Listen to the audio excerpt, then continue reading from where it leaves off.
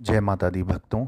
आज का जो वीडियो है, ये उन सब भक्तों के लिए है जो मुझसे बार बार पूछते हैं, घर में ग्रह क्लेश है, झगड़ा है, नकारात्मक ऊर्जा का प्रभाव बना रहता है, भूत पिशास और बड़ी ही नेगेटिविटी घर से आती है।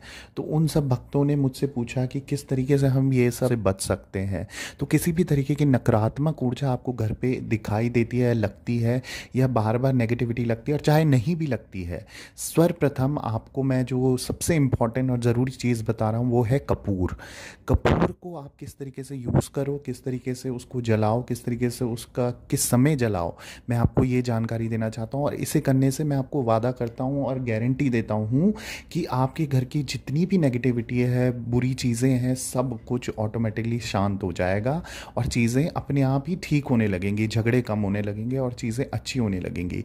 तो उसके लिए आपको सर्वप्रथम मैं आपको बता दूँ कि जो मैं एक लिंक दिया है, ये कपूर है जो मैं अपनी पर्सनल पर्सनली भी यूज़ कर रहा हूँ इस कपूर को तो इस कपूर को आप ज़रूर यूज़ कीजिए। ये आपके लिए बहुत ही मतलब मेरे को ये ओरिजिनल लगा, बहुत ही प्योर लगा और बहुत ही अच्छा लगा और ये कोई किसी चीज़ का मिक्स करा हुआ चीज़ नहीं है, बिल्कुल नेचुरल है। तो आप इस कपूर को ज़रूर ज़रूर खरीदिए और ज़रूर इसको जलाइए अपने घर पे।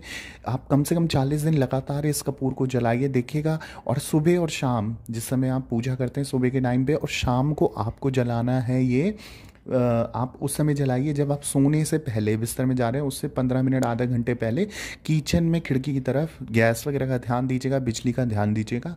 किचन में खिड़की की तरफ़ आप ये कपूर एक मिट्टी के दिए में दो कपूर रख दो और उसे जला दो। ये बिल्कुल हंड्रेड परसेंट मुझे नेचुरल लगता है और मैं खुद पर्सनली ये कपूर यूज़ कर रहा हूँ तो इसको आप ज़रूर चलाओ। मैंने लिंक इसका डिस्क्रिप्शन में दिया है, आप देख लो एक बार। और जो लोग कपूर जलाते हैं तो मैं उनको ये बोलना चाहूँगा कि आप कपूर ज़रूर जलाएँ घर में, अपने आप नकारात्मक ऊर्जा नेगेटिव थिंग्स नेगेटिव चीज़ें ख़त्म हो जाएँगी। जय माता दी।